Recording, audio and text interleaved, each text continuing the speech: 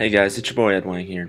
Just want to talk to you about how I got into gaming and why I fondly love it nowadays. See, how I started was I got a PS2 it was my first actual console and I had a Game Boy. I played a lot of arcade style games. I played sports games. It really got me into this whole idea of gaming for fun. Then I eventually uh, got a Wii and I started playing sports games constantly, constantly. Actually, on that console, I got my uh, first T game. It was Call of Duty 3, and I started really adapting into playing different games like that. Call of Duty and stuff I got very into, and then my next console is the Xbox 360, and I played Call of Duty only. It's kind of sad. I didn't play many other games. It was really like, I don't know, it was boring and stuff, and I started getting bored. I wanted to explore new games. Start talking to my friends, saying, game suggest, what's a game that could be fun?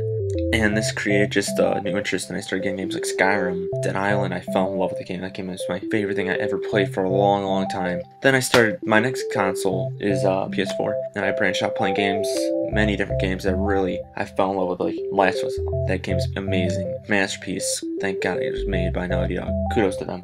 And I play other shooter stuff. I still play a little COD here and there. I'm not big into it anymore, but that is my current state in gaming. I am very happy and excited for some future releases, and I cannot wait to find some new fun games to enjoy and play. Have a nice day, enjoy the video. This is Ed Wang, out.